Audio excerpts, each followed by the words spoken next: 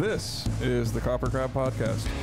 I am Chaney Crabb. I am Navene Koperweis. If you would like to buy any podcast merch, then hit kopercrabb.bigcartel.com. If you would like to buy merch from our band, Entheos, that is www.entheosstore.com. If you're not already tuning in on Tuesday nights live on Twitch at 7:30 Central Standard Time every Tuesday, except I believe this week in which we will be doing one on a Sunday because I am will be here and we've got a couple guys from that band coming on the podcast. So usually Tuesdays this week Sunday and also next Tuesday is Chelsea Wolfe and you know we are not missing that show in Nashville. Uh, we announced a tour today with As I Lay Dying and Chelsea Grin. It's going across the entire United States. You can check out the dates for that on our all of our social media. And so local pre-sale is Thursday, February 29th at 10 a.m. Eastern, and tickets are on sale this Friday. So go and check that shit out. Oh my god, I didn't get through the first 10 minutes without cussing, of course. Ah. of course. But today on the You podcast- told us not to cuss. I know, and then I, I knew I was going to be the one to break it. But today our guest is Sanjay Kumar. He is in, let's see if I can name them all, Inferi, Wormhole, Greylotus. Are you in other bands? Yeah, there are more. what else is Equipoise. Equipoise. Oh, that's, that's the other. Equipoise. Yes. Okay. And then I always got, you know, I always got some stuff on the side. Yeah, yeah. What do you What do you have going on on the side? Nothing that you're announcing yet. Well, I got like a solo brutal death metal thing. Mm-hmm. It's called Hanuman. It's like, Yep. I I don't know know. that. It was my COVID thing. You know? Yeah, That's yeah. Like Oh, that yeah. was like what I was doing. Then I make beats. Is that I you do know that under a different project, the Beats? I do that for fun. Yeah, okay. Wow. so you're just one of those guys who like you're writing stuff constantly. That's what where you exist. yes. Yeah. Yeah. Yeah. Have you done that your entire life? First song I wrote, I was in like ninth grade.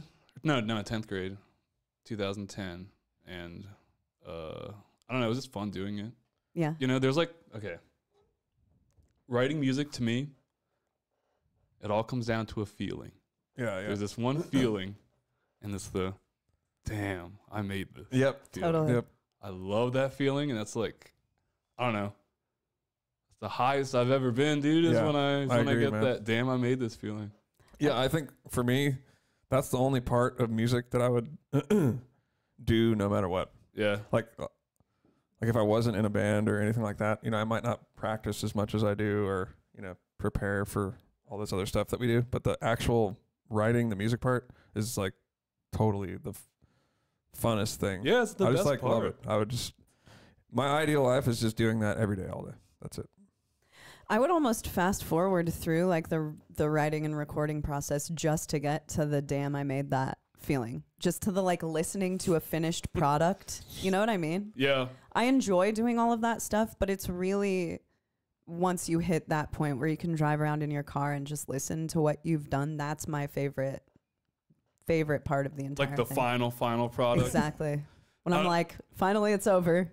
Yeah, but yeah. also, damn, I made this. That's cool. Sometimes, you know, you know, like like every every musician here, we, we all make our own like shitty little demos, you know. Yeah, yeah. They're Like, but uh, like sometimes like I make like just like a slam or something like that, and I just like like this is like the first demo I ever made, and I just like can't believe I made that, and I like spin this one demo like over and over and over again. I'm like, like this can't be real, dude.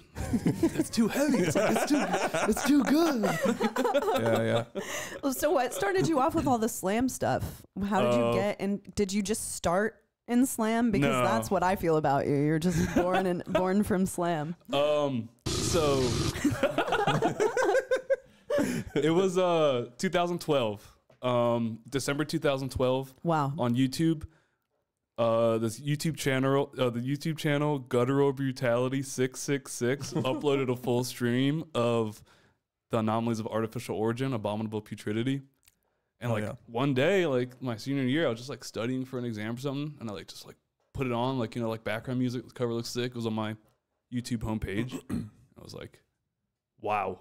Yeah, Like, yeah. So did that's you like something. death metal already, or Yeah, yeah. Yeah, okay. I was like all in the tech death at that time. Okay. like my favorite bands were like Gorod, Mhm. Beyond Creation, Archspire, that kind of thing. Necrophagist, obviously. and- Yeah, yeah. Totally.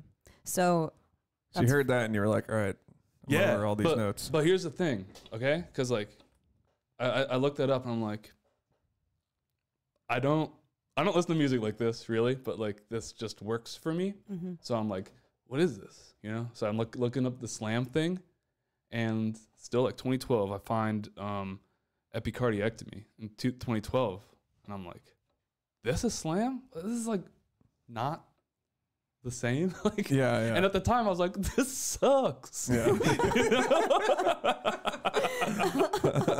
oh, and then, uh, but like, you know, I kept finding other bands like Abominable, like um, Analepsy. yep. Mm, Fucking, yeah. I love Analepsy. I almost wore my analepsy shirt tonight. I'm glad I didn't. Would have been 'cause matching. it No, would've we been should've all matched. matched up, dude. Um, but yeah, like like Analepsy, and then I found like uh, Wormed. Yeah. Oh yeah, they're Like- so sick. Yeah, and then so, but the basically it was just like a decline in the production standards. You know, I was just slowly going down, Yeah, yeah. and now I'm at the fuck. I'm at the bottom, dude. Just listening to stuff recorded with a microphone in the middle of the yeah. room, and that's dude, I there's like a textural thing to it. Yeah, yeah, I agree. I love an absolutely shitty mix that just but just like touches my ear the right way. yeah, yeah, yeah. So, what do you feel is the best example of that? Um, well, it's hard to say. Um, m- a lot of defeated sanities mixes, like the mix on passages, like that one's like perfect. I think that's like best drums too. I love the sound of those drums. Besides Matt on Almost Human, uh, Oh yeah. obviously. Yeah, we were talking the other night about the Ecchymosis. Ec- yeah, Ecchymosis. yeah, that production I think is fucking Dude. hella sick. that one there's that record um where like one guitar is like purposefully louder than the other or something Yeah. it's like so Do we know that it's on purpose though? no no but it's really uh, it's like really cool but like so dumb Yeah. it's just like this vortex and it's like I love it, dude. oh All right, we're gonna Yeah, have to love it. jam some of those in the post show because Yeah. I know Oh hell yeah, I got I know up like right now. the you know Naveen's into slam, so and it's not totally my cup, but I do like Abominable Putridity and Wormed and Yeah. those type of bands. So I'm interesting to hear other stuff in that Yeah. direction. But yeah this is something this is a this is definitely a departure from abominable yeah, yeah.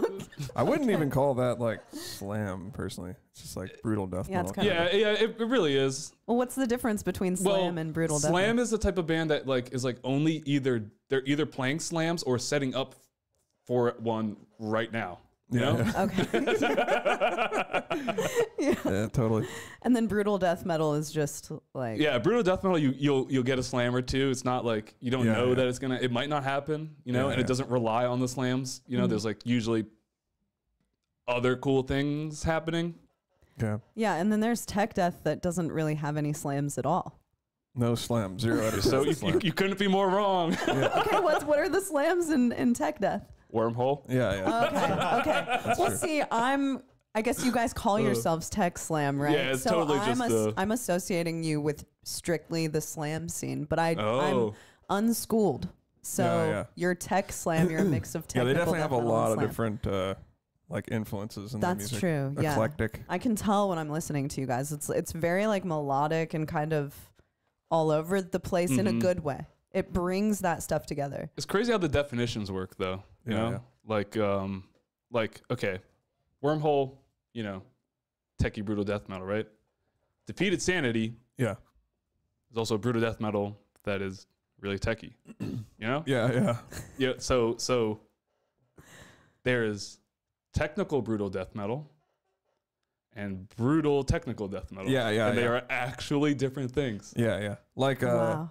It's like so pu- like putridity is like brutal death metal that's technical. Yeah. Yeah, yeah. But when did all of this start? Like when? Because we were talking about this a few weeks ago on the podcast. Like when did metal start branching out into all of these like super underground things? Like when did they start calling slam slam? When did they start calling brutal death metal? Um, I think they started calling Slam Slam after uh, Devourment Okay. because like that was the first band that just played slam riffs or you know Yeah, yeah. Mm-hmm. constantly. Uh, and like brutal death metal, I guess that came around. I don't know, probably when like suffocation and stuff like that. Maybe. Yeah. Yeah, yeah. I don't know. Disgorge, I think. Was the first- that yeah, yeah, the that makes one where I that makes like, the most sense. All right, this is just nuts, brutal. Yeah, because I heard that when I was pretty young. I was probably like 16. But to me, there was like death metal, and then there was brutal death metal, and that was pretty much it. You know, so suffocation, dying fetus, cannibal corpse. That was all like death metal, and then brutal death metal was like the first Decrepit album, Disgorge. There was some other bands. There was this other band, Cinerary. Have you ever heard that? no, It's like the older precursor to Slam. Because I remember when we had a we had a, a sound guy named Mi- uh, Mike Torres.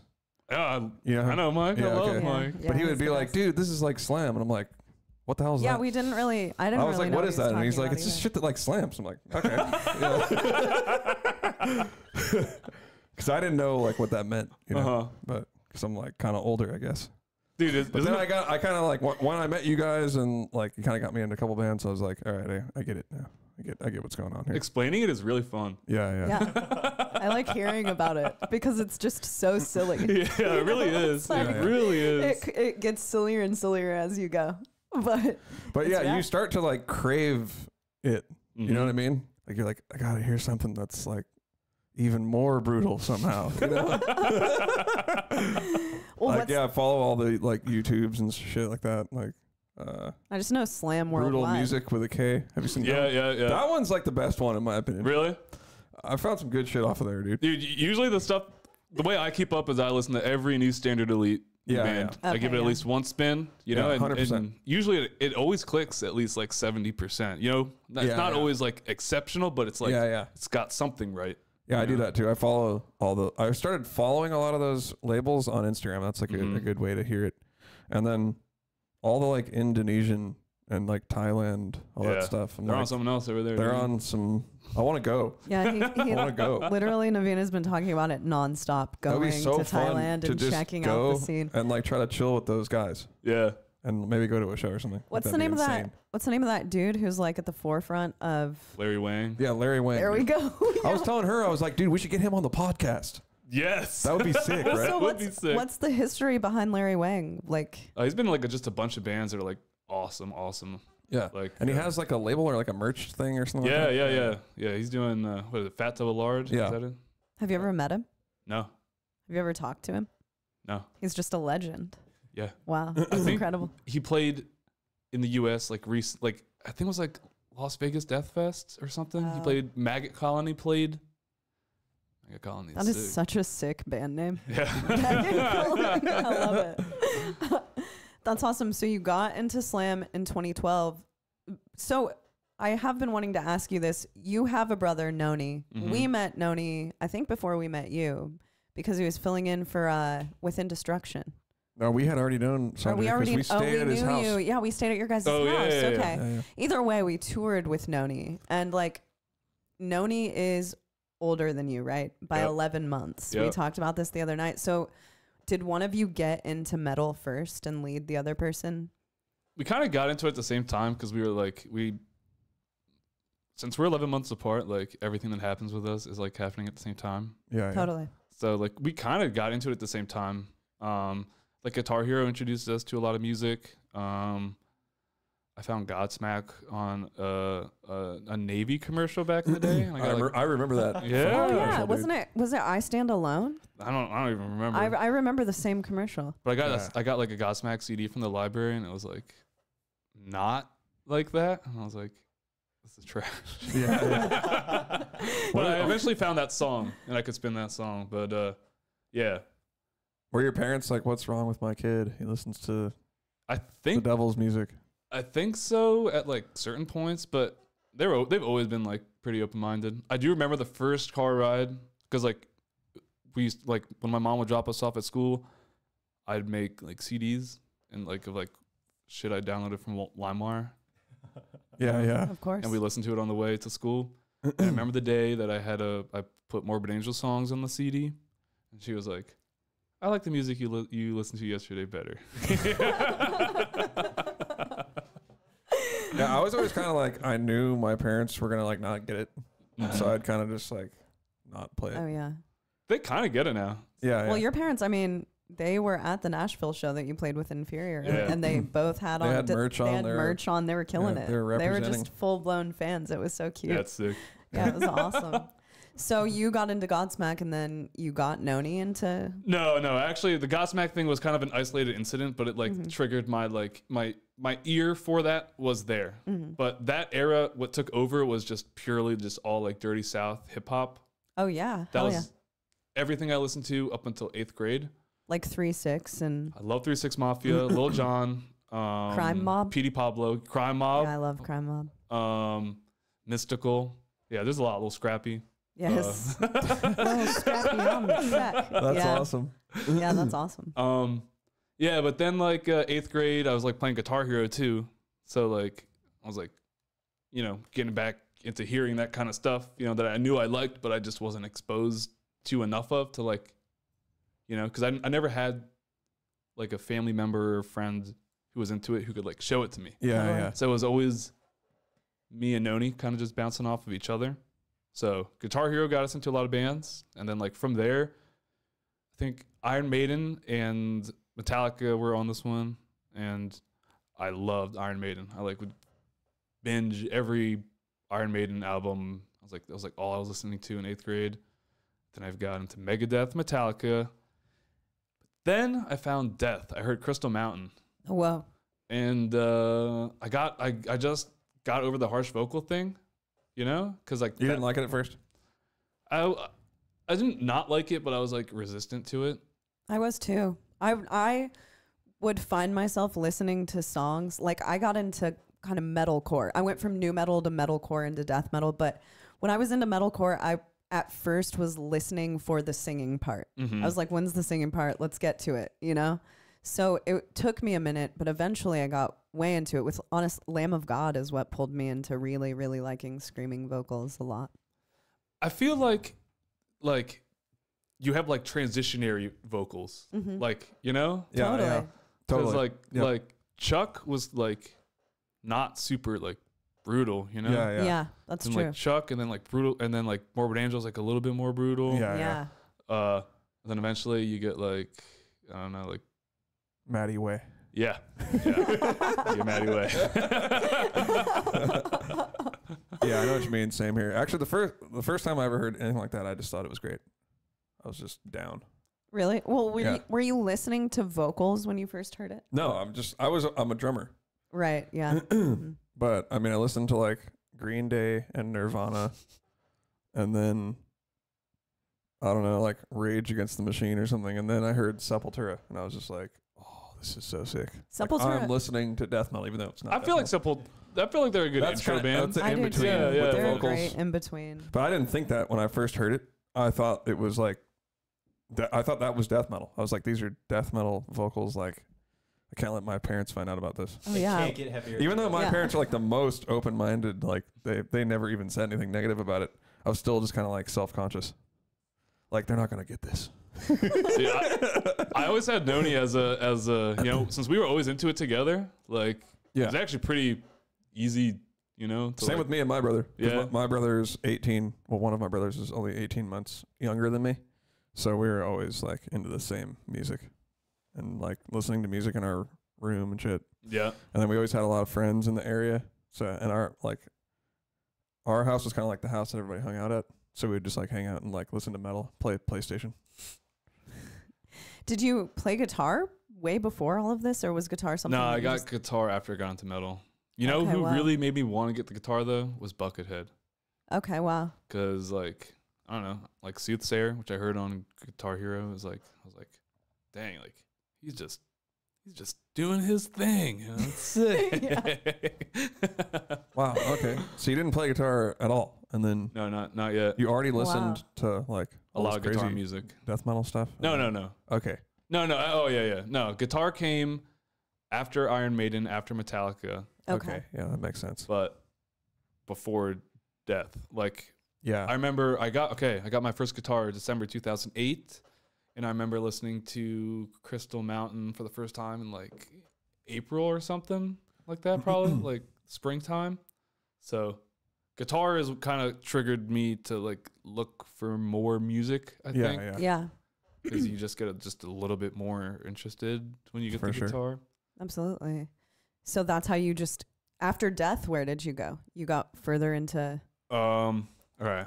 Then now we're going. Now we're going to freshman year. yeah.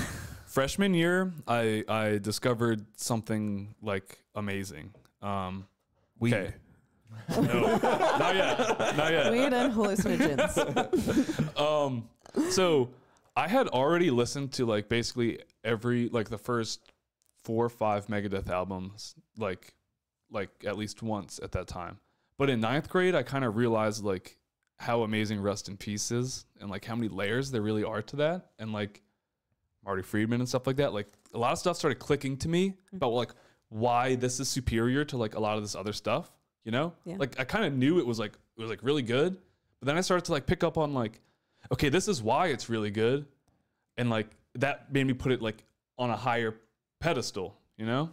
So I like got obsessed with that album. I, I like learned like everything, you know, I well I tried. I still sucked. I, it was my freshman I Wow. I hadn't been playing for a year yet, but You I weren't was like- good right when you Um, started? I feel like you were pretty good. I know. I do too. I feel like you were good when you started. uh, Or I don't know. maybe you, or you just well, you're talking about it. You got really obsessed really quickly. I'm kind of getting that vibe from you. I think Rust in Peace is that album that made me like try and get good because like like I saw the value in it. Yeah. You know? Mm-hmm. Um, and there were like things that were like, if you're learning like a bunch of like Megadeth riffs and uh, Metallica riffs and stuff like that, and uh, Kirk Hammett solos, and you know, and then you go to like a Marty Friedman one, you know, and like it's just like so out of the box and intense, and you kind of like, you know, this is such a guitar player thing, but you like you kind of like can't grasp like What you're hearing. what is yeah, Yeah, what you're hearing Yeah. and what's going on Yeah, yeah. like it's so dense and Yeah. uh, you know i was like i was like trying to figure it out and i couldn't figure it out and like i'd learn them note by note and like try my best to, to do it you know and i'd always just be like playing the notes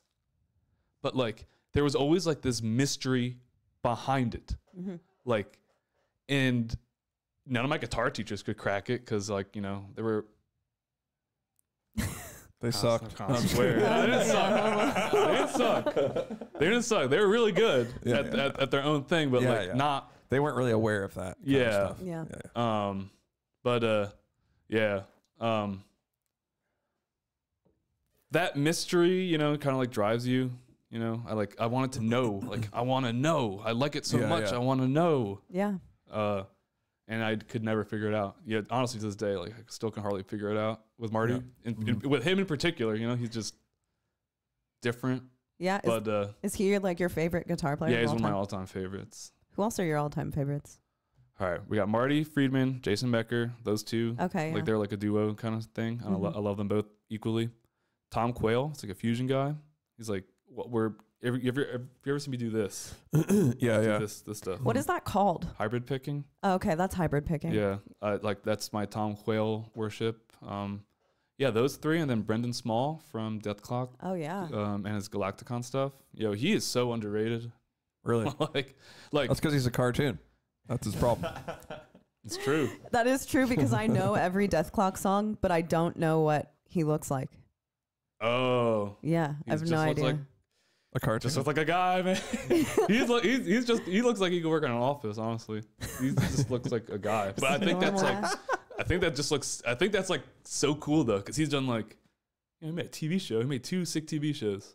What's the other TV show he made besides uh, Metal home, Alchemy? home movies, Oh, he made home. or Oh. or he was in that at least. Okay, I was a- know that. She was a writer on it or something. Dude, that was such a good show. It's not around anymore though, right? Uh, They play it at like three, eight, three or four a.m. though on Adult Swim. yeah, Brendan Small. I really like that guy. He's sick. Yeah, Uh, awesome. I think I think I would say those are my top four. I mean, I I mean, you know, I love like Yngwie and stuff like that, but I don't like, you know, those are the those are the four where like we're like, I'm like studying really hard on, you know. Got it. yeah, that's cool. Oh, oh, and one more actually, Sims, Sims Cash. Oh yeah. Oh, yeah. Sims Yeah, is yeah. so goddamn good at guitar. What's Wait, up with him lately? Yeah, got a Grammy. I saw that, but what was it for? I don't know. no one knows. It's a No Grammy though. It's, Yeah, uh, it is a pretty cool. Grammy. He's got one. But he, I can't remember the last band that Sims played in. Uh, I thought but it was going to be an alluvial. Yeah, I don't Was he? know. I don't know. That would have been sick. That would have been sick. Any band that he would have been in, that would have been sick. Yeah, he he uh, opened my ear a little bit to like get out of the box. I was in a box, you know. I was like classic guitar player stuff, like playing these same scale shapes. And Yeah, uh. I heard like some stuff that he did where it was like so out there, and it kind of like maybe gave me this realization, like I can p- kind of just play any note anywhere at any given time. like it's it's not in, improbable, you know. Like yeah. Mhm. I don't need to just fit these shapes, you know. Yeah. I'm, I trained my fingers to do that, and that's what they're used to. But they can do more. Yeah, Yeah. and Sims taught me that. That's awesome. I wonder that a lot about people who are super like highly trained, how much it keeps them in a box. Just because you get used to all of these, like you're saying, patterns that are that's how it's supposed to be. But Mhm. in art, while you can learn all of those things, I think that the coolest players are the ones who aren't doing the totally in the box stuff. Yeah, I, I, I would agree. But the way that I see it though is like not in the box. Really, is you just know so many different boxes.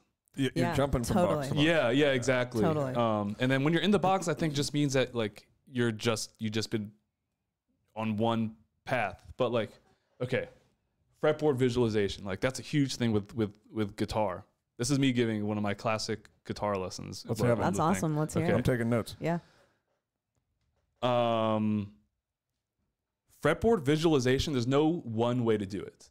Like, um, a lot of people tell you like, this is how I do it. This is the way that I do it, and, like this is what you should do, et cetera, et cetera. Like a lot of people learn like the scale shapes. All right, they learn like the three note per string. Yeah. They learn the Berklee position shapes, and they get taught like, here's the seven modes.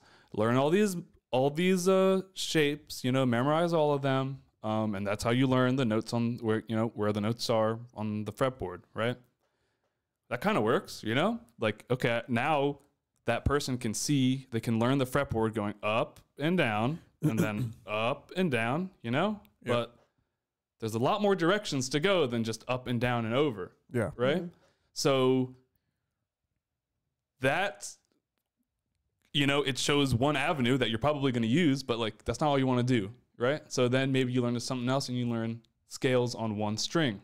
So it's like, okay, now I can go left and right on one string. So now you have two directions. But you you only get so many so many notes. At, uh, you Yeah. know, it, it's it's hard to, to do that. So you need to expand how you visualize to see all of these directions. If you can't see like how to get from point A to point B in many different ways, then you need to work on your fretboard visualization. There's like really there's infinite ways. There's like infinite, you know, um, Yeah. musical ideas. Uh, so fretboard visualization needs to be a lot of them, and I don't think anybody can ever discount ever trying something new because you'll always see something else. hmm Do you let your ear? How much does your ear play into it though, rather than like It's mostly my ear. Yeah. So you're not really like for me. I'm kind of like letting my ear guide me, like when I write stuff. Um. And like the technicality part is kind of secondary to that. Yeah, I totally agree to that. You know. Is it Uh, like that for you too? Sometimes it screws you, Yeah. but I also see that as like I'm leveling myself up right here. I want to be able to do this, and I just made myself have to learn how to do it. So Exactly. Yeah, it's like yeah, you want to I want to go somewhere so I know okay, I need to learn X, Y, and Z in order to do that thing. Like it's Yeah. kind of utilitarian for me personally. Yeah, no, I, I, I, that was one of the things about writing a Guitar Pro that was actually good for me. Like, I don't do it now because I don't want to. Different story, but um, um, I would like write things in Guitar Pro, and I would- I would even think like you know like the fingerings. I'd see them in my head. Um, you know, like punch them in. Like, yeah, I could do this. Like these, this makes sense. Um, then I finish it, and then I play it back, and it'll be like so fast that it's like, huh, like I actually can't do it that fast. Yeah, yeah. But I fall in love with it. You're like, but it's so sick, so sick. I can't, I can't, I can't not do this. So yeah, yeah. you just gotta grind it out now. Yeah. Yeah. Yeah. And I, I am pretty good under pressure, so I put that pressure on myself and I do it. Yep. Likewise. That's awesome. Likewise. Well, take us. What's up with the Guitar Pro thing? Is it because you don't want to get too like demo itis out? Uh, all right, yeah, Guitar Pro like just sounds like shit. Like I just hate Yeah. how it sounds. Yeah. Um, and I feel like I'm at a point where I can say what I want with my fingers. Yeah. You know, I I don't think that I I don't think that I need Guitar Pro to do anything for me, and I like playing guitar. I don't like playing computer. Yeah. Yeah. So it's just more fun for me. I feel more connected to what I'm doing. Um, feels organic. Like then the subtleties of like me are in there. You know, like I love to do like little goofy vibrato things, you know, here and there that are like, you know, it's, it's me just doing me and like on the note, but like now it's also part of the riff, you know, Yeah. and you can't notate that in Guitar Pro. Yeah. Totally.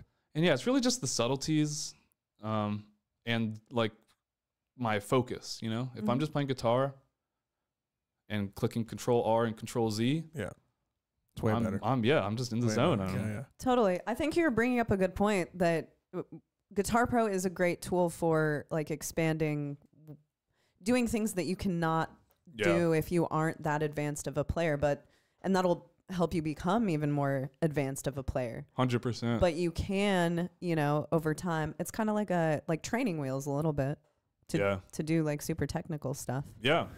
And also, like you, if you're in a tech death band, you have to do it anyways. Like that's the only way to yeah. like learn like the kind of stuff. or to give it to the other members of the band. Yeah, that's Mhm. the thing for us is so Navene when he writes, he I guess you've maybe written a few things with Guitar Pro, but when you write I've you- never written anything I've liked in Guitar Pro. Nothing. Nothing. Like it just sounds. I don't know. There's something about like I, yeah, I'm using my ear, but I'm also like um. There's like spontaneity happening.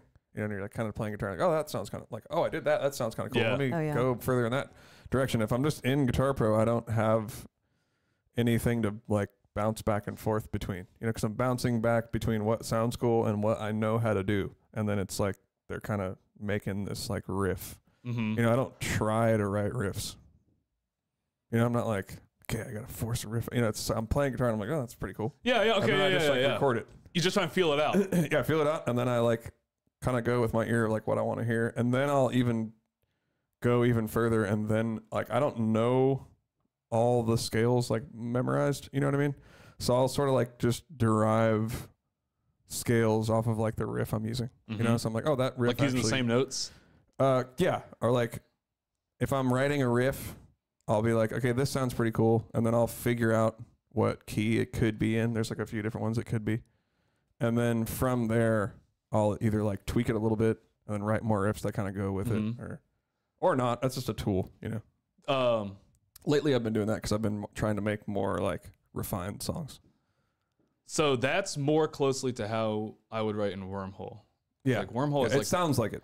Wormhole is not like diatonic at Yeah. like a lot Oh, of yeah. times, you know. So Definitely it's gonna be like crazy random notes. Mo- They're pretty random. Like it, uh, it almost doesn't matter at, at, at a certain point, you know. Like it's a slam one three three two one, or is it one three three four two? You know, it's yeah, yeah, for sure. um, But you guys have all those like riffs that are more like chording. Yeah, super kinda yeah, yeah. So, but like, like, so the diatonic riffs are. I'm, I'm was explaining my what I was telling you before about fretboard visualization. You know, diatonic stuff. I see the notes that work. There's no trial and error. I'm, I'm. There might be trial and error of like what note I want, but there won't be a trial and error of does this note work in that key. Yeah, yeah. Mhm. Um, but with like the brutal death metal stuff, like you can kind of just do whatever you want as long Yeah, as it yeah. sounds cool. It's better to Yeah. turn that. I noticed with like, if you're trying to write, write sick brutal death metal, Mm-hmm. turn all of that off. Yeah. So I just try and combine it. yeah, I, yeah. I, I just try and like uh like so in wormhole it's like it's gotta be tech and slam, right? So I'm gonna do like melodic and tech and then like stupid and slam. So you gotta get from diatonic and pretty to like caveman and shitty.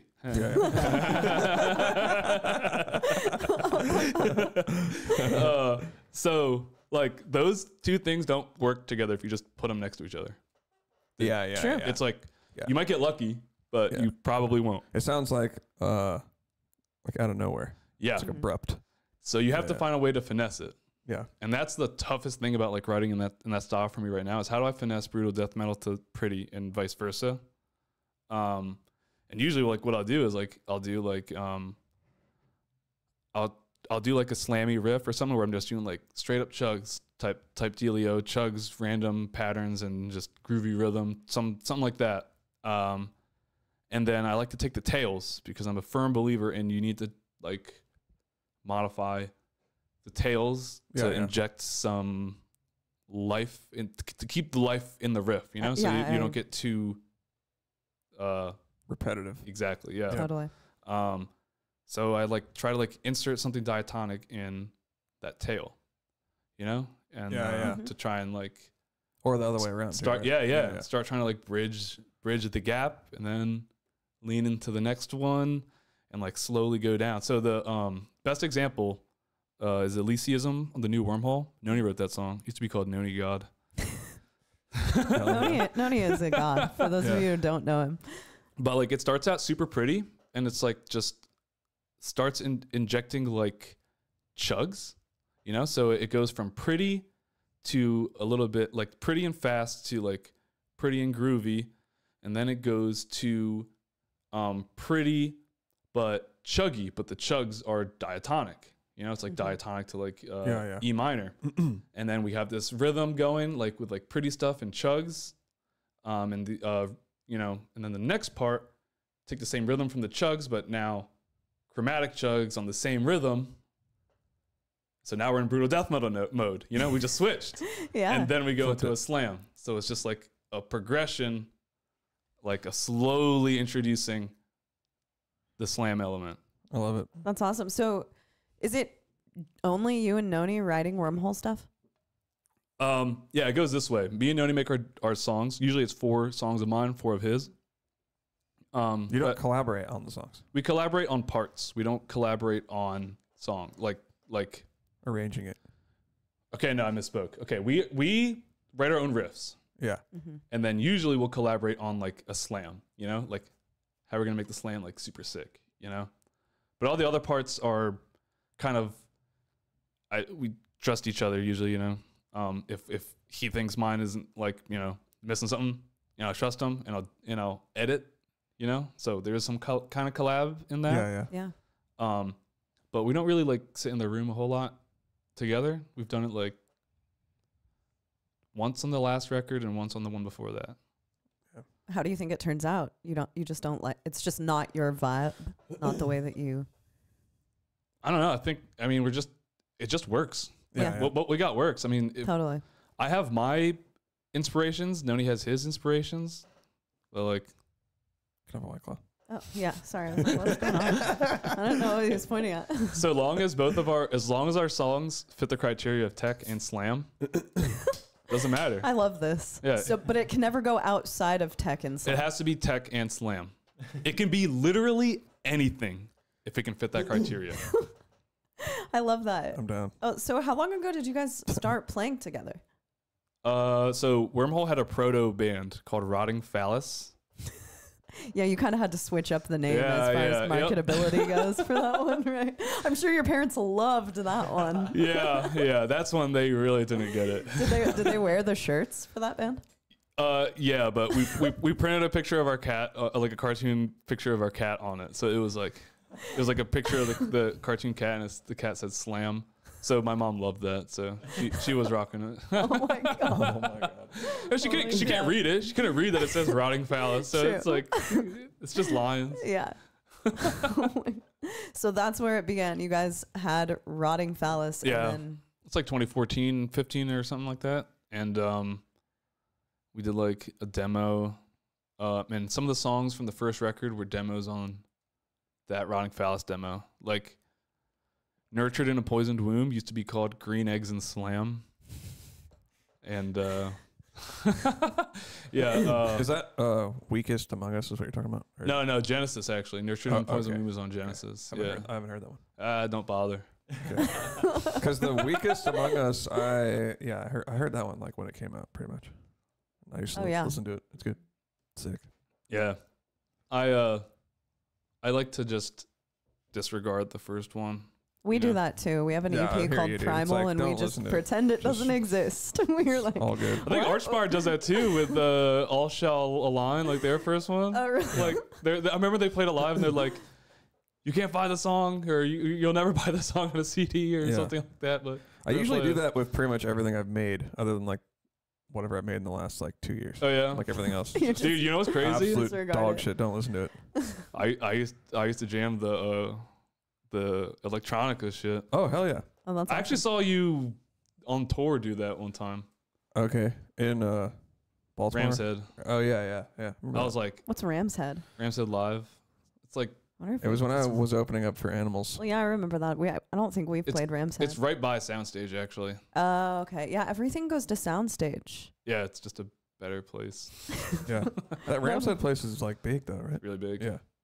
Really? Is it bigger than Soundstage? Yeah. It reminds me of like a House of Blues vibe. yeah, totally. Jeez. Yeah, I'm always I always kind of forget because Soundstage seems small to me. I don't know why, but when I Low look, ceiling maybe. yeah, maybe that's why. But when I look at the cap, I'm always surprised when stuff like huge stuff is going there because I'm like, wow, you can fit that many people in Soundstage. That's insane. Yeah, it gets crazy in there. Oh, dude. I think no, when you when you guys were there with Whitechapel, it was like Yeah, that was insane. nuts. crazy. Yeah, that was Yeah. sick. We've was played really there with sick. like Black Dahlia. It was crazy. Uh, Yeah. That venue rules though. We just played there. Uh, with Revocation, Yeah. it was packed then too. Like Yeah, there were a bunch of good. people. Then, were you at Oh that yeah, I was at that one. There were a bunch yeah. of people there. they But, uh, crank the AC in there. like when you first true. show up to like load in, Yeah. you're like, dude, is it really this cold? I Like, hate this that. is fucking Oh, insane. me too. I do not like being cold when I'm on stage. Me too. It's- And it really sucks if you're the opener because then it's like kind of cold when you play. It I, I, sucks. I played a show in a in a hoodie because of that. I hate that. it Oh. fucking pisses me off. Yeah. I like it to be like a hundred. I want it to be super hot. In Me there. too. I want to honestly not really be able to breathe. I want it to be hot. I want, it to, Just- I want it to be an experience. Disgusting.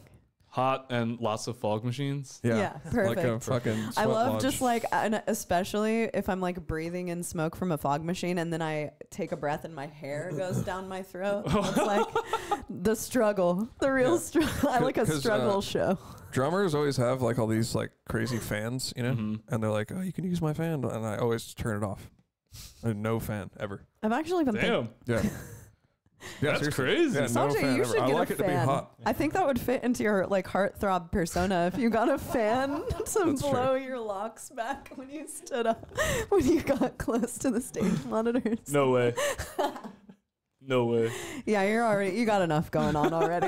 You're already He's I- already you're hot enough. killing He doesn't need the fan. I know it's so hot. no one else knows the joke, but we keep we saw uh, Inferi with Sanjay like a month ago, and we're like, dude, we just kept thinking about how you're the you're so hot Couldn't up take my there eyes on off of him. stage. yeah, I know. Couldn't take my eyes off of you. You're just ripping. And the- it's under those lights at the end. It was just a special show. It was killing. I That was that was the sickest I've ever seen Inferi, for sure. Oh, it was. That was 100%. I super wonder why. dope. Yeah. it was really sick. It was. Uh, you guys are going out on tour again? soon? Yeah, with Enterprise Earth, Oh, that'll be sick. uh, Crown Magnetar and Tracheotomy. Yeah, someone was asking if you're excited about that. There's a Oh, question Oh, I'm excited about chat. that. I'm excited about that. Honestly, like in, in between all my bands, like I get to do different types of tours. Like over the over the summer, I did that uh, Wormhole Analepsy Oh yeah. Slam tour, all Slam fans. Inferi headliner, all Tech Death fans. Gorod tour, also with Wormhole, all Tech Death fans. Yeah. Get to do a deathcore tour, all deathcore fans. Well, not all, but um, we did the Nekrogoblikon tour a little while ago. and Yeah. that was like the broadest spectrum of Yeah, like yeah. metal fan, you know. Yep. And I don't know. I, I, I love that there's like so many different uh, types. Um, Totally. and uh, yeah, It's cool. It's cool that there's enough fans for that to happen now. that's true. You know, like 20 years ago or 30 years ago, wasn't really the case. It was like metal and hardcore, and that was pretty much it. That's true. I always find it fascinating. Like we'll go to different kinds of shows here. We went to that Nekrogoblikon show. There was really no one at that show that I ever see at other shows. It's crazy. They have such I'm a like, who are these people? Yeah, I know. It's like almost people who are into Gwar and Comic Con, and they have such an interesting crowd. Like they've grabbed a bunch of people who I don't even know go to other metal shows. Really, You know what I noticed on that tour? Kids, literal kids. Wow. People bringing their six year olds. Oh yeah, yeah. Like every show, there was at least one one or two kids, definitely more than that. And every show, every couple of shows, there was a lady who painted herself green, too. I know they have that that goblin man. You can do a lot of go- Oh cool my God. marketing with Yeah, that. I love the goblin. I'm so I do sold on the too. goblin. Yo, now that the goblin sings, the, Uh, dude, I'm like, yes, the goblin has to sing. Everyone already thinks the goblin sings anyway. Yeah. Even when Post Malone was on Joe Rogan, he's like, dude, they have a goblin that sings. And that was when they didn't have that. But everyone just thought that anyway. So, you would I expect that. it. yeah. I- even when we went on tour, I was like, wait, he doesn't sing? Like he, what, he's just a goblin? He's just up there doing Yeah. his thing. Yeah, dude, it's so cool. And uh yeah, all the I love the what's the name of the show right now with John Goblikon? so. Have you watched that? That character, I, I love the, the Goblikon character. I- I love it. Um, you know what I learned, though?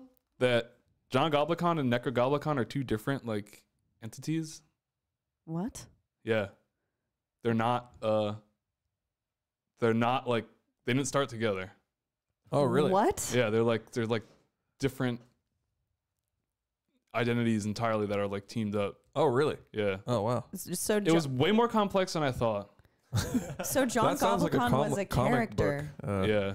before Nekrogoblikon Yes. asked him to join the band. Or is the other way around. I don't know. He's not a character, he's a real life He's a real goblin. guy. Yeah, he's a real Yeah. goblin. Real life guy. Yeah. I've seen him backstage. He- That's yeah, he's literally goblin a the whole goblin. time. Like- Yeah. but so that's insane to me. I can't believe it. That Yeah, I, I gotta, I gotta, I gotta uh, look into it, uh, uh, look into the history a little bit more. But I, I was getting somebody was explaining it to me, and and I was like, I was like, I just assumed that they were just always the same thing, you know? Yeah, I figured that like Nikki made up the goblin or something. That's fascinating. Wow. But yeah, if you guys out there haven't seen right now with John Goblikon, I will sometimes just watch throw it on. It's hilarious. Yeah. Such good, funny interviews. There's one that they did with uh Bill Oberender. Who do you know Bill? Okay, he used to do merch for the contortionist. He's done merch for us and I think he does uh the offspring now. He's really moved up in the Yeah. Dude. That's what you can do if you enter in just being a cool person and do working. You'll end up working for the hugest bands over time. Like Inferi. yeah. well, how did you Oh yeah. how did you Let's start playing that. with Inferi? Well, I filled in for them in 2019. Uh, Okay. oh yeah, on a, like a European tour or something. yeah, the Tech Trek. So sick. I I, bet. was like, Mike Um, couldn't make it or what? Yeah. Um and like I don't know, learning the songs then was like way harder than it is now, but definitely like I got like better better from that gig. Like there's like some stuff in there that was like I can't do this right now. I actually have, I got to grind, you know, I got to grind it out and like actually like Yep. get my chops up for this. Totally. Um and then on Shadow of Intent on that tour 2022, I was playing with Wormhole and uh, we were at the Oklahoma show and they all they, they like like Spencer texted me. I was like, "Yo, come over to the van real quick," and they're all like out there in a line. Mal- Malcolm sitting on the on the uh, on the chair, and uh, A sit down. The chair. and he, he was like, I, I kind of knew what was gonna happen actually, honestly. yeah. But he, he he did like one of his Malcolm things, and he's like, "Mike's leaving the band," and then I knew what they were gonna ask me. Yeah. and I was like, They're like, we just wanted to tell you that actually. yeah, it's like that's, that's it. yeah, I I was like immediately like, "Yeah, I'm in." That's So- sick. Uh, But you, uh, We guessed it in two seconds. Remember? oh yeah, when Mike said he was quitting, because I think that Mike was tracking something here. Yeah, he and was he like, was "Oh, like, here." he was like, yeah, I'm quitting the band, and we're like, We're like, oh, they Sanjay's got joining, huh?" Sanjay. And he was like, uh. Yeah. we knew right away. I mean, it makes Yeah. sense Yeah. because, well, I know that Malcolm's a fan of you. I know you're a fan of Inferi, and your style complements his very well. Yeah, you, you want to know why? One of my biggest inspirations for like my whole like counterpoint thing was Malcolm's A Loathing Requiem stuff. Dude, that Yeah, yeah. stuff is so sick. So, you know, I never actually like learned one of those songs, but like I was getting into that when I started writing my own music, so I was like trying to imitate that. Um so like a lot of my stuff is already Malcolm inspired. So, Fits. yeah. Oh, that's really cool. yeah. Uh, did you know? How did you know him in the first place? It's cool actually. Um, I was on my first tour ever with my band Perihelion. Um, don't look it up. Oh, we're listening to it right after Um, this. and uh, it was like a DIY t- type of tour, and we had like a day off, and we were like around Nashville, so we went to Nashville, and like it's actually like the day our record came out, and I was just like I was like friends with Malcolm on Facebook, and I was just like, "Yo, listen to this," you know, type type thing. Um, and back then he would have actually listened to it. Um, um, and I was like, "Yo, we're in Nashville. If you want to like hang out," and then he actually got he actually got back to me. I was like, "What?" So we had dinner with uh, him and Kayla at Las Maracas, the one by Malcolm's house, and uh, just like shooting the shit, you know. And then he took us back to his house and we was like hanging out, like drinking beers. He showed us his snakes. Oh, okay. Oh yeah, At back that time, had- showed us um, the new A Loathing Requiem. Uh, Acolytes Eternal hadn't come out yet. Um, and I was like, dude, I'm over here listening to Malcolm's riffs. Hell yeah. Yeah, uh, yeah, that- that's how we met. And then uh, actually, the next time I saw him is when you guys came around. He stayed really? at my house. Oh whoa!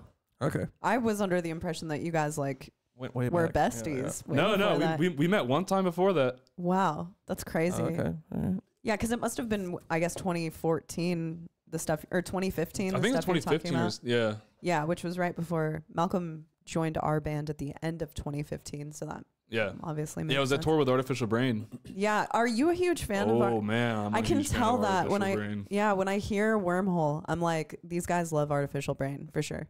It, it's it's me Yeah. and Matt actually. Matt too. They're such a good band. Yeah, they are. and like the the stuff that Dan comes up with, I just don't. E- I can't even fathom how a human thinks of that stuff. It's so like it's out of the box. I was just trying to be him for like in like 2016, 17. Like that's how I wrote a lot of the stuff on the Weakest Among Us was me just trying to be Artificial Brain and then do slams afterwards with the Yeah, yeah. same type of type of thing. Um, I just love like like going back to textures. Yeah. Yeah. Yeah, You can play the same you can play the same chord so many different ways and there's so many different textures, you know? Yep. So like I started exploring like a different way to a- approach like the same chord progression I've been playing for like years maybe, but like with crazier voicings that like have a totally different texture. Artificial Brain taught me that. wow, that's incredible. Yeah, they're so good. We saw them. Uh, they played this venue here called Dark Matter last year. There were so many people there, and they just it was really ripped. I ate. Uh, awesome. I like microdosed mushrooms and watched their set, and literally had my mind just fucking blown. Dude, I remember that show because in the Inferi chat, everybody's like, "Yo, you going to Artificial Brain?" And shit like. I'm like, "Fuck you guys." I want to see this band probably more Oh, than yeah, anything. yeah. Have you? Ever, well, I've seen them. I guess you saw him on that Black Dahlia tour. Yeah, and I saw him. We played Perihelion played Louisville Death Fest 2015 or 16 or something like that. I don't know. 2015, and they they they played. And that was my first time seeing them. I was like, Yeah. It That's was fucking sick. sick. It was a really good show. Uh, so with Greylotus, are you allowed to say that you're writing new Greylotus? Or I yeah, just yeah, yeah. it Anyway. New Greylotus Alright. has like been written. You know, it's just kind of like Are you tracking it? the Greylotus way is a little different. We kind of do like we, we'll we'll track an entire. Well, Ben will track an entire song, kind of like before like some things are done yet. You know. Yeah. Um, but uh, something's coming out really soon, Sick. and then more stuff is coming out after that, and then Sick. another thing is coming out after that, and it's all pretty lined up. That's awesome. Are you? Do you tour with Greylotus or? When I can, Yeah, you're a busy man. He's a busy man I- right here. yeah. I know, busy man. I, doing a I'm shooting myself in the foot. It, it sucks to like. Okay. I was with with I wasn't in Greylotus at the start, right? But um, Greylotus wasn't like a live band until me, Matt, and um, Lee and Drew ended up, you know, officially joining. Joining. Um, it really sucks to like you know be part of the band like building up to this like capability capability of like doing these things and then not being able to do them Yeah. Yeah. Yeah. you know Yeah. it's like it's pretty crushing but also something i realized i got to get used to if i want to if i want to do it the way that i'm doing it i have Yeah, to get yeah. used to it um but like we were saying before favorite part of it is making the music. Yep. So Yeah. like that's that's really like what I want to do.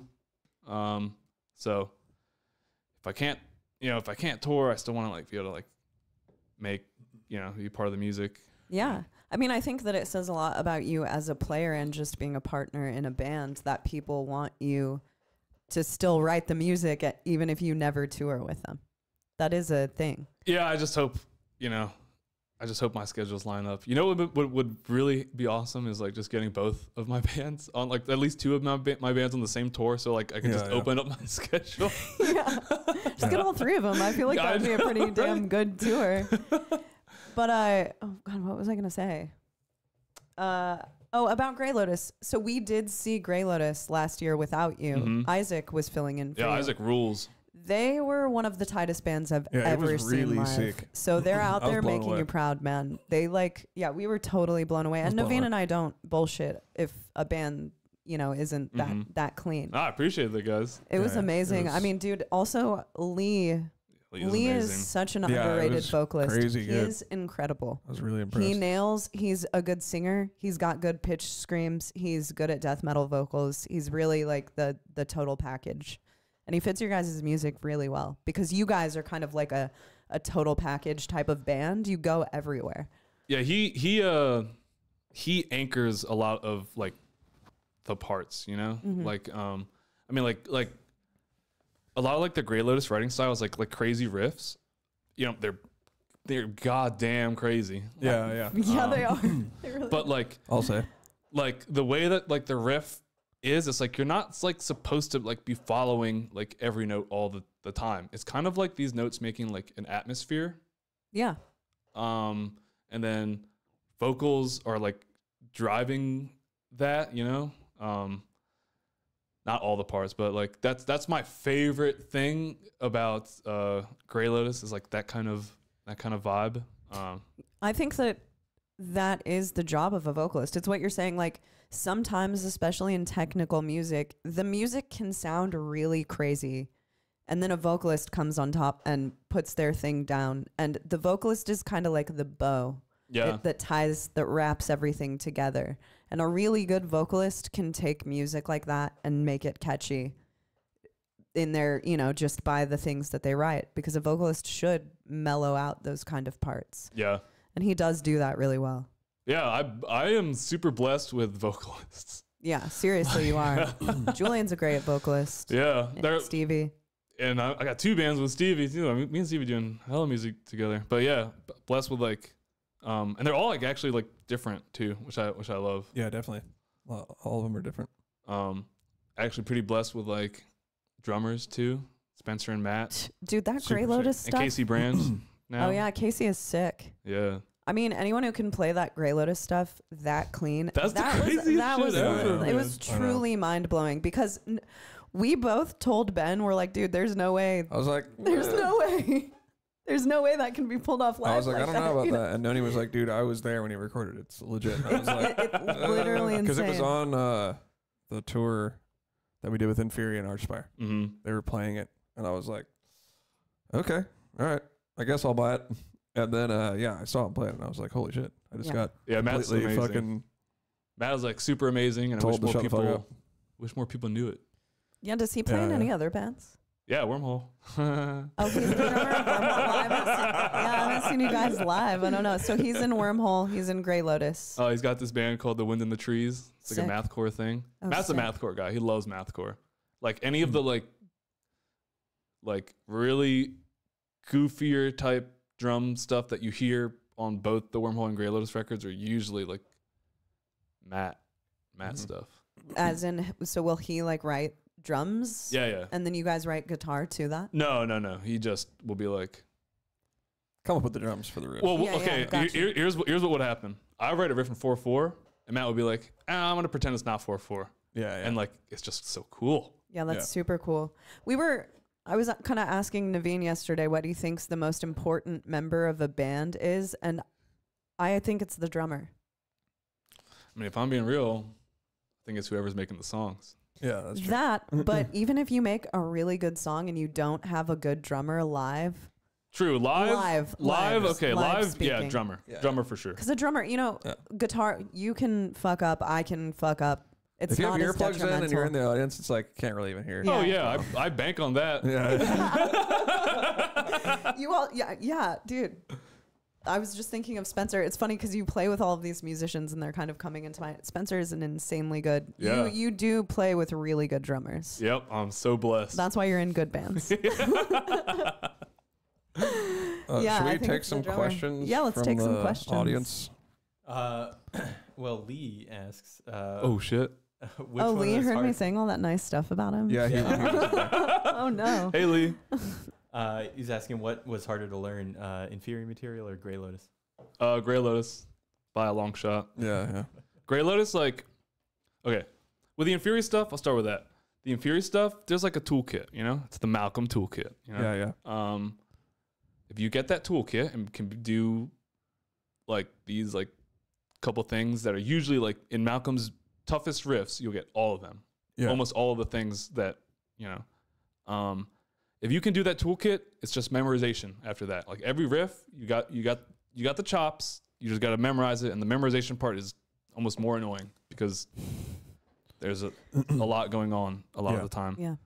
Greylotus stuff, every riff is a different toolkit, and you got to memorize. You, the memorization is a little bit easier, but the riffs are like really dense. And there's like a lot of techniques in Greylotus that I only use in Greylotus and never anywhere else, like selective picking or something like that.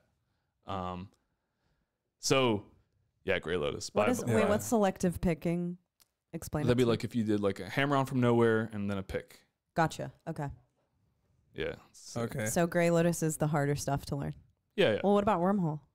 Like, let's involve Wormhole too. Wor- wormhole is like the most natural the It's most your natural thing, yeah, so, yeah. yeah. I, I I can I could play a wormhole set and like right now.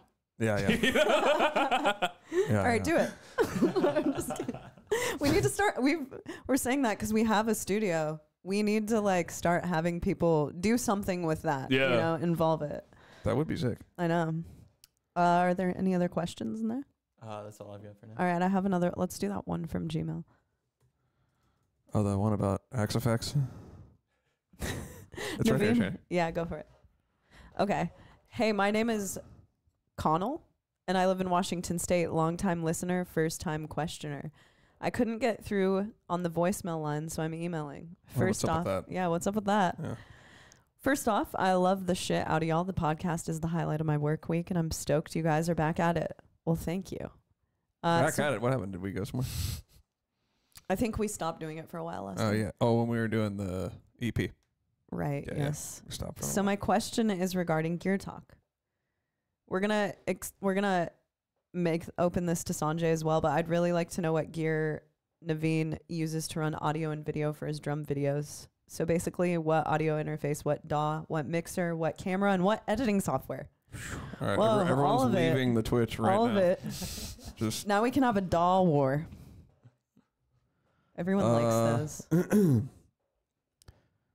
what do I use to use the? Um, so I was using Cubase, but I started using Pro Tools like an adult. Like an adult Yeah. or maniac. Yeah, like a grown up. See, I knew because he made a status on his Facebook like a week ago about how he moved to Pro, Pro Tools, and everyone freaked out. I love it. It's so really? sick. Yeah, As long as you love it, I don't sick. care. I But think that's Actually, I had really to go what it is, back right? into Cubase to export a song, Mhm. and I was like, man, I hate this. I like Ableton, but I I'm love very- Ableton. Ableton rules. If you Wow. like Ableton, then you'd like Cube, uh, Pro Tools. Like, Really? there's all the cool, f- like a lot of the cool features from Cubase. I'm noticing that are in. Pro- I mean, fuck, Ableton are in Pro Tools. Okay, yeah. See, I start. It's I like a used mix between the Ableton. two, like Cubase and Ableton. I'm Oh. like, okay, I can Oh, see wow. where the they like derived certain I things from hate it. Cubase.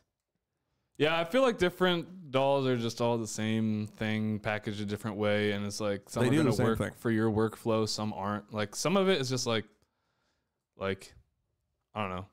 I think people worry about it too much, and they're like, yeah, hundred they're, percent. they're also like so reluctant to change. And I think that's too much because like, yeah, you can take one day. It takes one day to like learn how to use it enough for Dude. control at R. You know? That's true. Dude, I've been using Pro Tools for like maybe a month, Mm-hmm.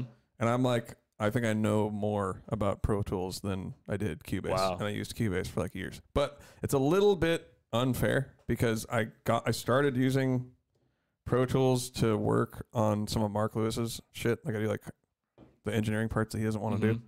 So like he gave me like a list of like here's how you do all this stuff with all the key commands and shit. So it's like I'm kind of getting like this like welcome in. You got the that I- cheat sheet. Yeah, I got the cheat sheet that I didn't have for Cubase. You know what I mean? So it could just be that I just don't know how to do that stuff in Cubase.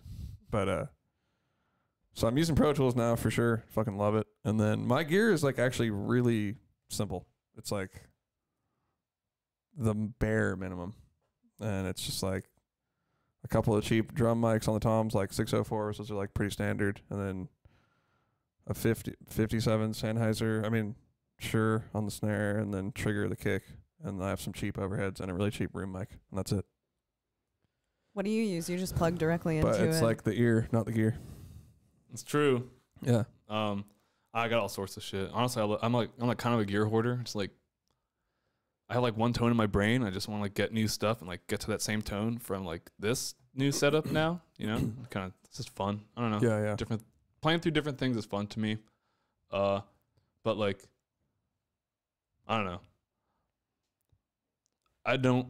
I I like nice things, but what's more important to me is like just do I like it? Um, and you know, usually like nice things like yeah, you're gonna like it more and, and stuff like that. But like, um, it's hard to know like really why you like things, especially with guitars. I'm mostly talking about like like guitars on, on from that perspective. Like you really know why you like guitars until you've played like a shit ton and you've played them in like a lot of different circumstances. Um, so you don't really know what you like. So, um, I'm totally a hypocrite on, on this because I'm like been like hoarding gear right now. Yeah, yeah. no, I can go both ways. well, I think yeah. You know, like if I think having a sound in your head is important for sure. And then starting like every level doing it in the right way cuz people Mhm. can have all this sick gear, but it's like they're starting off at a shitty point.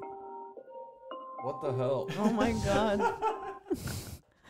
I'll turn that down. Navene's dad's calling. My bad. Yeah, that was my dad. uh, you know what I mean? So if you start with it, if you if you get like one thing in the chain wrong from the beginning, it's like never gonna go away. Yeah. So like I think the first thing is make sure like if you play guitar, have a guitar that sounds good with like good strings and get pickups that you like and then kind of go from there. And it's better to have like less that you know what to do with. I, th- I think that's the most important thing. Yeah. Like Especially if you don't know how to use all this gear, then it's just going to sound like total shit. But if you have like just a few things and you totally know how to use them, it's going to sound like way better. Dude, you know what's a good example of that? I think is like all of like the Ola Englund amp demos. Like he's using stuff that people say is like shit on the forums, you know, type type of thing, and he always makes it sound good, you know. Oh wow. Like, not always, I guess, but usually I don't watch a lot of YouTube, but like he, he does like all these like you know, and he I mean he's doing it doing it to sell the amp. Like I, I get that, but like I think it's like just like proof that like every piece of gear has like a role, and that role is like what you make of it. Also, Mhm. kind kind of thing. Like I don't know, like look at like shoegaze people, um, who are like play who like tap dance on pedal boards, stuff like that, right? Yeah, yeah. Like there are like no rules at all for like making sounds, you know? It's Yeah. like uh um so I don't know. I think in the metal spectrum people just get too honed up on like how do I sound like this? How do I sound Yeah, like that? Ty- type of Totally. thing. Well, I think it kind of happened like with like Djent. Djent Djent made That's everything true. very uh, and this is not a knock on Djent. I like Djent. The- This I just think that everything became very like um about stuff Yeah. when Djent happened like getting like a, a- Fancy guitars yeah, and stuff. Yeah. The Axe-Fx dropped when Djent came out too. Oh yeah, I remember. I remember Yeah. hearing about Axe it's definitely djent's fault, like a thousand percent. I remember hearing about Axe-Fx for the first time, really, because like Yeah, of course. through Tosin. You know what I think? You know what I what I'd say to somebody who like usually is like, you know, getting on that like, dude, like that tone sounds so sick. Like like what do I get to get to that tone? Like usually it's just like bro, you just gotta pick harder. Yeah, I know. Yeah. Yeah, totally. Well, see, Yeah. that, that The is the playing. thing is that I don't know that it should be acknowledged that a lot of tonality is just in, for guitar is just in guys' hands. Yeah. Or I, I don't know about like the Scott was going in about the woods and stuff, and I don't know anything about that. But Dude, I could hand go in on the hands, man. It is on the hands. Like, I mean, like, obviously the amp is gonna determine your tone, yeah. you Mhm. know, but like, good person is gonna sound good on any piece of gear.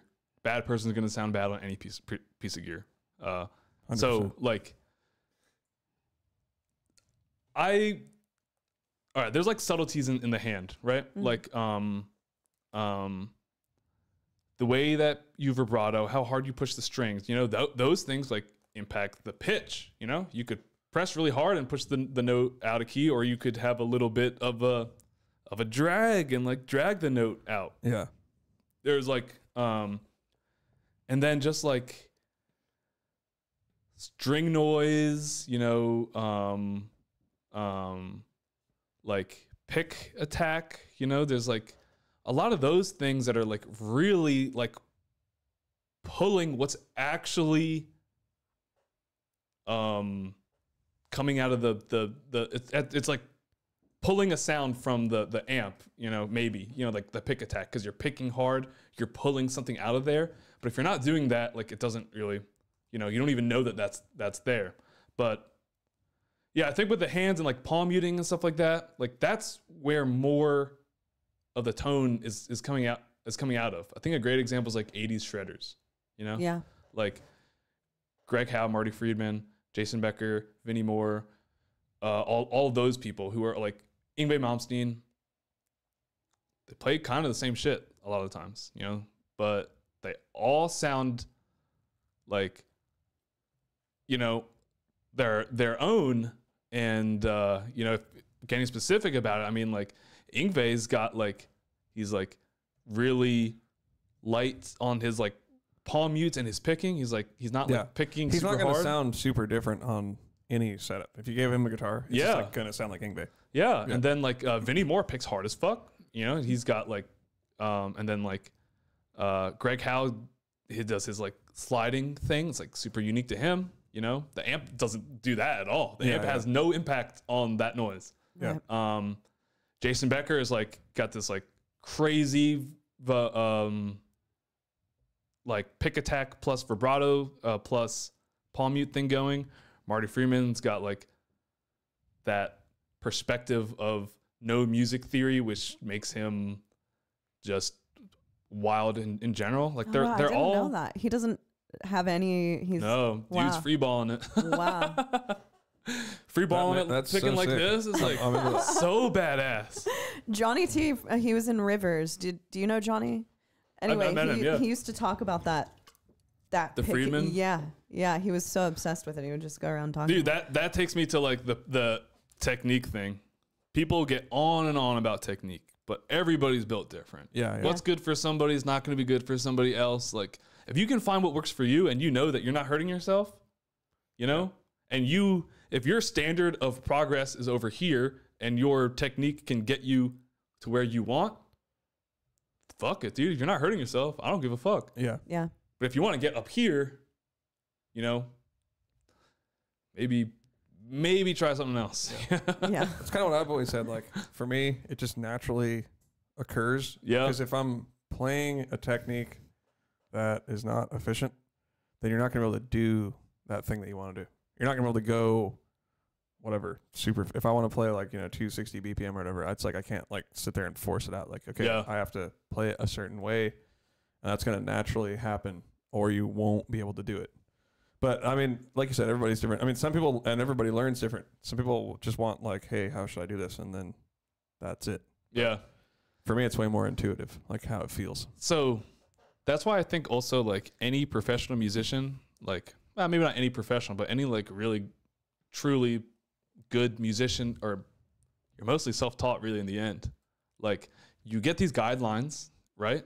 And the guidelines show you like the routes to to take, but like you need to learn how you learn on your own Yeah. because you're doing the practice at home and you need to build on your lessons. The lessons are giving you um, a guideline, but you're teaching yourself how do you I fit this, you know, thing that I'm I'm I'm learning. Um, in the end, it's like all all on your own. You know, you need to learn like how do I learn how do I learn songs good. You know, that's that's you. Yeah. You know, nobody's gonna tell you this is how to learn a song. You're gonna be you're gonna figure out eventually like this is the best way for me to learn songs.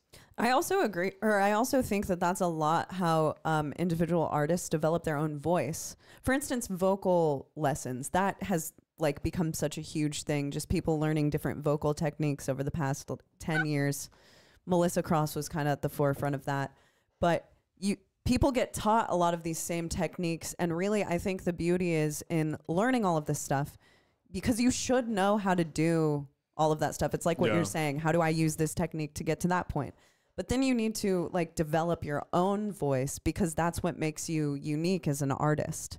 And I think that like the self-taught thing you're referring to, that's where it comes in. Yeah, totally. That makes a lot of sense. Yeah, because like um, I don't know. I feel like it's kind of a shame a lot of times. You know, if you listen to a lot of, of metal, it's a shame when you hear something and you know that it's just like a rip from something else. Like especially if like the song's sick and then it, but it's like that like eats away in your head. You know, Yeah, it's yeah. like like it's just it's just the same exact thing, you know. Like, I mean, obviously everybody plays the same slam riffs, like, but that's like the genre. You know, before somebody tries to say that one, yeah, but even still, it's like you named a bunch of slam bands earlier, and none of those bands sound the same Yeah, to me. true. And I'm, you know, like I said, I'm not a slam connoisseur, but the bands there are. When you start getting really into it, a lot of them sound the same, for sure. yeah, It's not production, dude. It's not muddied production. You can't hear what's going on. It's like, oh, this isn't abominable putridity. All right. it's got to be muddy in the right way. Yeah, totally. But yeah, I think that that is like people sometimes get caught up in like being a copy or doing the same thing as another person, but really like thinking outside of the box. That's what makes different bands so cool and so beautiful to me. hmm It's the type of stuff that I like to listen to. I to. would say it really, I don't know. It's like we're we're putting all this into words, but really just do your thing that you want. Yeah, that's There we really go. it. Like yeah, don't be. I'm not like when you're writing, you're not thinking like about all this shit. Of course not. You're just like I'm playing guitar and I'm gonna write something like whatever. Yeah. I think Fuck it. I, I, I had to I had to learn how to do that before I felt like I feel like I can formulate what I'm actually you know, I couldn't I had to start just doing me before I feel like I could write something something fresh Within Without- another, within yeah. another uh, genre kind of. yeah, thing. wi- without Yeah. just straight ripping things, you know? Yeah. yeah, totally. yeah. Just fucking be yourself, man. I agree. All right, I think we're gonna kick it to the post show and All right, have Sanjay yeah. show us some slam songs. Uh, before we go though, follow you, follow all of your bands, name them all again. Uh Wormhole, Inferi, Grey Lotus, Equipoise. Uh, let's just leave it at that. Dude's putting out. You're putting out. You're putting out good stuff. You don't have a bad one in there. But Fuck yeah, yeah. Well, good time. Thanks yeah. for hanging, thanks Sanjay. so much for Yeah, hanging, thanks Sanjay. for You're having the me. best, man. Fun as hell. All right, we will see you guys in the post show. And if you're not on Twitch, we will not see you on the post show. And have a good week. Peace out. Love y'all. Peace. Much love. Let's roll up another. What do you think? Yeah.